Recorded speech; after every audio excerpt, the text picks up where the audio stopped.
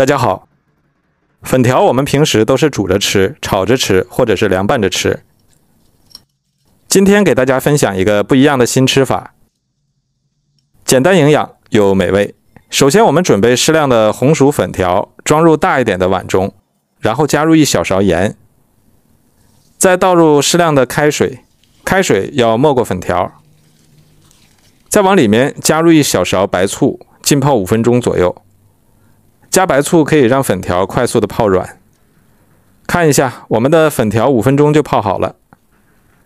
然后把它控水捞出来，装入漏篮里面。接下来，锅中加入一碗清水，开大火把水烧开。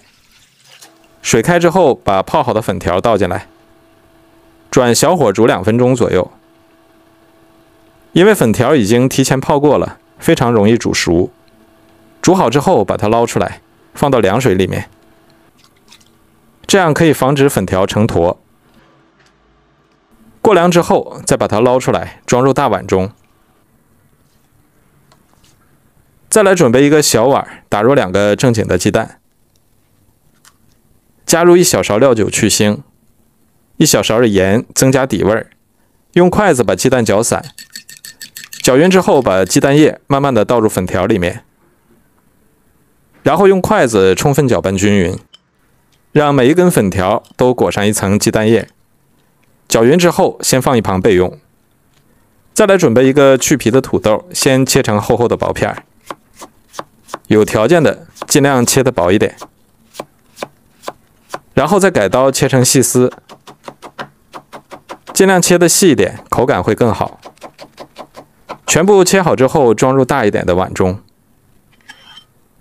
然后倒入清水，没过土豆丝，把土豆丝浸泡一下，防止氧化变黑。再来准备一个去皮的胡萝卜，先切成厚厚的薄片儿，再改刀切成细丝。切好之后装入碗中备用。再来准备一把小葱，切成葱花，切好之后装入盘中备用。然后把土豆丝控干水分，装入大碗中。胡萝卜丝也加进来，再把粉条也加进来，葱花也加进来，再往里面加一小勺盐，适量的胡椒粉，然后用筷子充分搅拌均匀，让所有食材都充分的融合在一起。搅匀之后，再往里面加入一小把虾皮，一小勺面粉，继续搅拌均匀。面粉要少量多次。慢慢的插进来，如果觉得太稀了，再加一勺面粉，这样能够更好的掌握面糊的粘稠度。最后搅拌成这种粘稠度就可以了。搅好之后，先放一旁备用。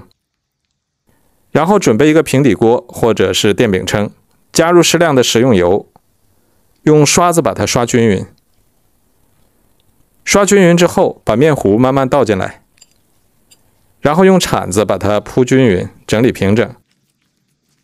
铺平整之后，表面上刷一层食用油，锁住水分，再撒点黑芝麻增香。然后盖上盖子，中小火烙三分钟左右。煎至底部定型后，我们给它翻个面儿。翻面的时候，我们可以利用一个大盘子。